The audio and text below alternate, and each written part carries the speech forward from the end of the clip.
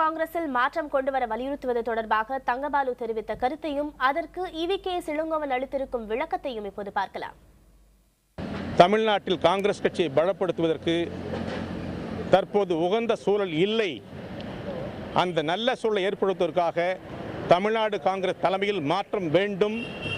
அதற்கு ஒரு தகுதியான ஒழுக்கமான நம்பிக்கையான காங்கிரஸ் கட்சியின் தலைமை மீது விசுவாசம் கொண்ட காங்கிரஸ் தொண்டர்களை அரவணைக்கிற ஒரு தலைவர் வேண்டும். நான் தலைவராகி மறுநாளே இவர்கள் டெல்லிக்கு செல்வார்கள் என்று எதிர்பார்த்தேன். நல்ல வேளை ஒரு வருடம் கழித்து தான் வந்திருக்கின்றார்கள். நான் வேலை செய்யவில்லை என்று சொல்வதை என்னால் ஏற்றுக்கொள்ள முடியாது. இந்த ஒரு வருட காலம் என்னென்ன வேலைகள் என்னென்ன ஆர்ப்பாட்டங்கள் கட்சி பணிகள் என்னென்ன நடந்திருக்கின்றன பொதுக்கூட்டங்கள் நடந்திருக்கின்றன என்பது கட்சி தொண்டர்களுக்கு மிக நன்றாக தெரியும் பொதுமக்களுக்கும் தெரியும். தலைவர் என்பவர் ஒழுக்கமாக இருக்க வேண்டும். ஒரு தலைவர் என்பவர் நல்ல முறையில் பேச வேண்டும். ஒரு தலைவர் என்பவர் எல்லா கட்சி தலைவர்களையும் அரவணைக்கிற பண்பு வேண்டும். ஒரு தலைவர் என்பவர் முதல் உள்கட்சி தலைவர்களை ஆதரிக்க வேண்டும் பேச வேண்டும். அந்த பண்பாடுகளே இல்லாத ஒருவரை தலைவர் ஏற்றுக்கொள்ள முடியாது என்பதுதான் எங்களுடைய நிலைப்பாடு. இவர் கவிஞர் தங்கபாலு என்ற பெயரோடு அரசியலுக்கு வந்தவர்.